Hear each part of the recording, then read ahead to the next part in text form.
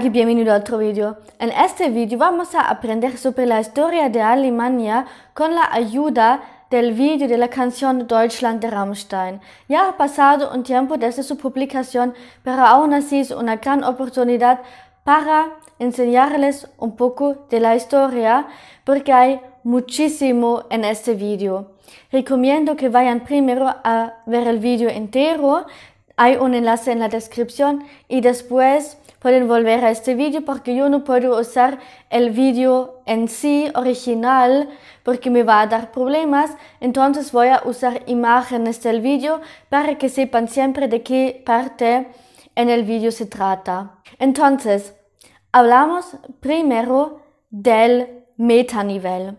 Vemos desde el inicio que hay personas que parecen venir del espacio, astronautas o lo que sea, que llegan a la Tierra y están escaneando con láseres todo lo que encuentran. Los monumentos históricos, esculturas y también los acontecimientos en sí. Y hay un tipo de evaluación de lo que encuentran. De eso vamos a hablar un poco más tarde cuando hable de la letra. Entonces vamos a hablar del primer momento histórico que nos da el vídeo. Y en esta ocasión nos da hasta el lugar y el año. Dice Germania Magna, siglo XVI. Entonces sabemos por el año que se trata ya del final de las campañas bajo germánico Julio César y con eso también del final de las batallas entre los romanos y los germanos. Y también hay una batalla en específico que era muy importante, pero que ocurrió un tiempo antes, en el siglo IX. Y eso es lo que se llama en alemán Varusschlacht, Hermannschlacht o Schlacht im Teutoburger Wald. Y esa batalla se considera ser muy importante porque es junto con el final de las batallas y las campañas contra los germanos como el nacimiento de Alemania. Y vemos en una escena muertos colgando de árboles en el bosque.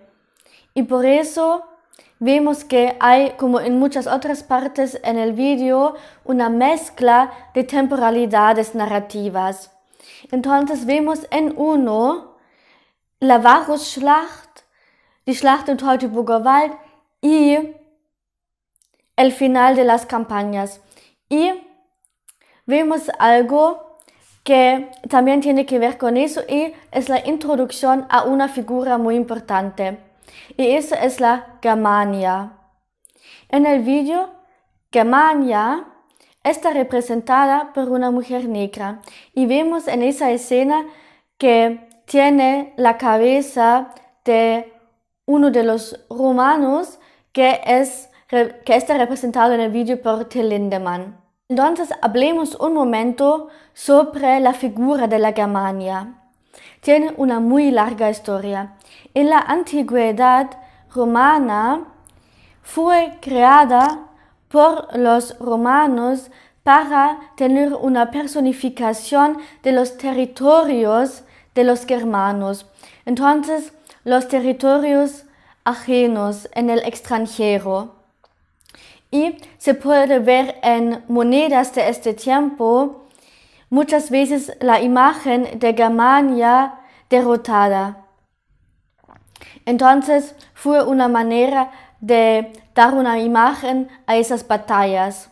Y ya desde la Edad Media, se usa Germania como representación de Alemania por los alemanes. Y luego en el siglo XIX se usaba mucho la imagen de la Germania por los movimientos democráticos que tenían el objetivo de unir Alemania y de crear una nación de Alemania. Y claro que tradicionalmente en el arte y todo lo que se encuentra de Germania, ella es una mujer con rasgos típicamente alemanes. Eso significa que es una mujer blanca, rubia, con ojos azules. Y claro que era una decisión consciente por parte de Rammstein tenerla representada por una mujer negra. Entonces tenemos aquí una inversión de esa narrativa. Vemos en unos cortes instantes también a caballeros.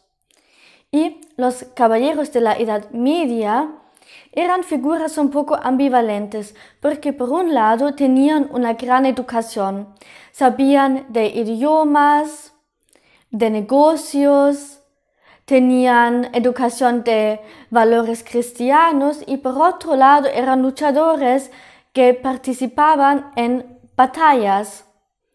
Entonces tenemos aquí algo que también vamos a ver muchas veces, esa mezcla de educación y cultura y violencia. Entonces vemos una escena con hombres golpeándose. Eso se refiere al tiempo de la República de Weimar, die Weimarer Republik. Y esa también era una época muy ambivalente. Duró de 1918 a 1933. Era por un lado una época de gran cultura. Había todavía la influencia de poetas de lo que se llama Weimarer Classic, aunque la Weimarer Classic era antes de la República de Weimar.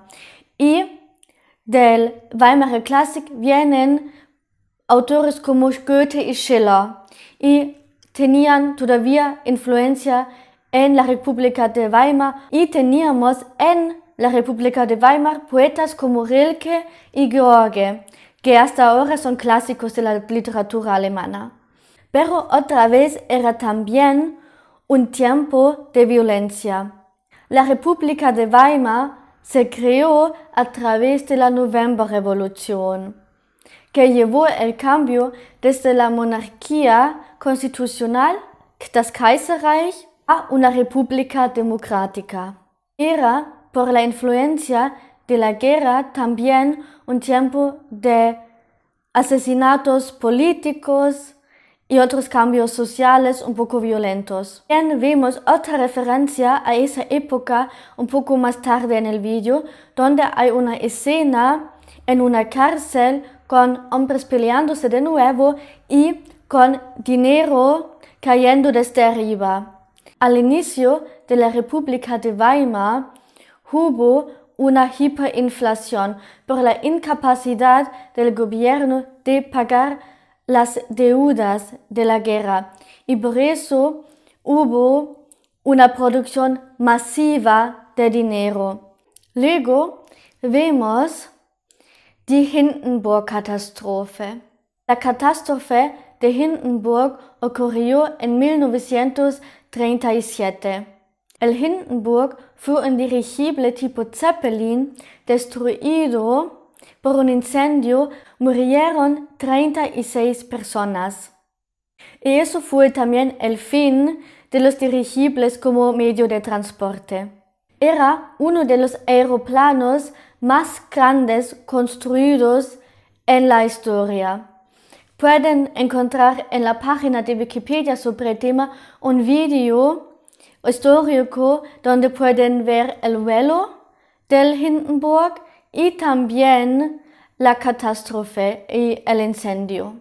Y vemos en varias ocasiones en el vídeo la DDR, la República Democrática Alemana, que fue un estado socialista en el territorio bajo ocupación soviética después de la Segunda Guerra Mundial durante el tiempo de la Guerra Fría. El vídeo quiere mostrar la hipocresía por parte de los funcionales. En la DDR siempre había una escasez de productos del día a día por falta de socios comerciales después de la guerra. La DDR tenía una economía planificada que se convirtió muy rápido en una economía de penuria. Eso causó mucho sufrimiento en la población, pero los funcionarios no estaban tan afectados de eso y podían tener una buena vida ellos mismos. Y los miembros de Rammstein crecieron en la DDR, por cierto. Entonces se entiende por qué era tan importante para ellos incluir esas escenas. Y podemos ver también otra escena que hace referencia a la DDR y eso es cuando vemos el monumento a Karl Marx en Chemnitz. El nombre de Chemnitz durante la DDR era Karl Marx Stadt. La escena se refiere probablemente a la huelga de obreros en 1953. Era al inicio una huelga por parte de los obreros en el sector de la construcción, pero se convirtió muy rápido en un levantamiento generalizado contra el gobierno de la DDR. Esa sublevación fue violentamente reprimida por tanques del grupo de fuerzas soviéticas en Alemania. Eso es lo que podemos ver en esa escena. Y ahora llegamos a la escena que más controversia causó. Esa es la escena en el campo de concentración. Y sabemos que se trata específicamente del KZ Mittelbau Dora. Lo sabemos porque se puede ver en el fondo el cohete V2, Vergeltungswaffe 2, que fue construido por los prisioneros trabajando en el KZ, en el campo de concentración. Este trabajo forzado causó la muerte de muchos de los prisioneros por las pésimas condiciones de trabajo y desnutrición. Vemos en los detalles de la ropa que llevan que se trata de diferentes tipos de prisioneros. El marcaje de prisioneros durante el Tercer Reich funcionó a través de triángulos invertidos y esos triángulos tenían colores diferentes según el tipo de prisionero. Amarillo era para judíos, rojo para políticos, rosa para homosexuales, púrpura para testigos de Jehová y negro para vagos y ajenos a la comunidad, lo cual incluía también a personas con discapacidades. Esos triángulos también se podían combinar, como lo podemos ver en la ropa de Lindemann, que lleva dos triángulos, uno rojo y uno amarillo. Eso significa un judío y político. Y otra escena con referencia a la Segunda Guerra Mundial es la de la quema de libros de 1933, donde estudiantes y profesores junto a funcionarios nazis quemaron libros de autores que se consideraban peligrosos. Entre esos autores eran Marx, Freud, Kästner, Tucholsky. Y podemos ver aquí miembros de la RAF, Rote Armee Fracción, fracción del Ejército Rojo, que fue una organización terrorista que operó entre 1970 y 1998. Causó gran agitación por sus actos de violencia y asesinatos de personajes de la política, economía y administración alemana. Causaron la muerte de 34 personas y adicionalmente de 24 miembros de ellos. Entre sus actos era también el asesinato de Hans Martin Schleyer, que era un nazi y también el presidente del Bundesverband der deutschen Industrie und der deutschen Arbeiterverbände. Se secuestró también el vuelo 181 de la Lufthansa en 1967 bajo su dirección. Su objetivo con todo eso era principalmente exigir y forzar la liberación de miembros de la primera generación de la Rote Armee fracción de las cárceles. Pero el gobierno decidió no cooperar. Tomaron y mataron rehenes, por lo cual podemos ver en el vídeo Germania como rehén de la RAF. Al final vemos que los astronautas ponen Germania, que ahora parece una Blancanieves como la podemos ver en otros vídeos de Rammstein, en un ataúd de cristal y lo mandan al espacio. Entonces, en sí, mandan a Alemania al espacio, quizá para crear otra cosa nueva y mejor. Y eso va también con la letra al final. Deutschland, deine Liebe ist Fluch und Segen. Deutschland, meine Liebe kann ich dir nicht geben. Entonces, esa evaluación que mencioné al inicio es que han pasado demasiadas cosas crueles y violentas en la historia y es tiempo de crear otra cosa. Entonces vamos a hablar de la letra. La letra consiste principalmente en frases que se repiten una y otra vez. Y la letra muestra una relación muy ambivalente con el país. Dicen que hay cosas que se pueden amar de Alemania y eso lo hemos visto también en las épocas ambivalentes, que sí había siempre mucha cultura, pero nunca cultura sin violencia básicamente. Y claro que podemos ver en el vídeo que hay un enfoque en los momentos oscuros de la historia de Alemania. Hablemos de una frase, de un verso en específico. Deutschland, Deutschland über allen. Esa frase con el cambio de una letra al final viene del Lied der Deutschen. Originalmente se escribió esa canción para unir al país y deseándose una nación unida contra los intentos de los franceses de obtener ciertas regiones cerca del Rhin.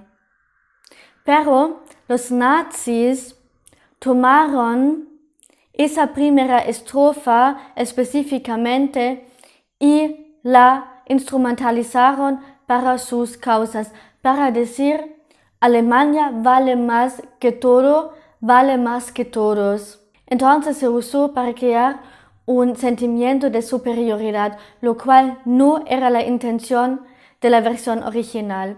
Y hoy en día se usa la última estrofa de esa canción en el himno nacional de Alemania, pero nunca canten la primera estrofa que se considera la estrofa nazi. Rammstein toma esa frase, ese verso, para mostrar el egoísmo que se ha mostrado durante la historia de Alemania sin ninguna consideración. Ese vídeo ya es muy largo, por eso lo voy a dejar aquí. Si tienen más preguntas, me las pueden hacer. También podría hablar un poco más de mi opinión personal. Déjenme saber si eso les interesa. Entonces, hasta la próxima vez. Tschüss.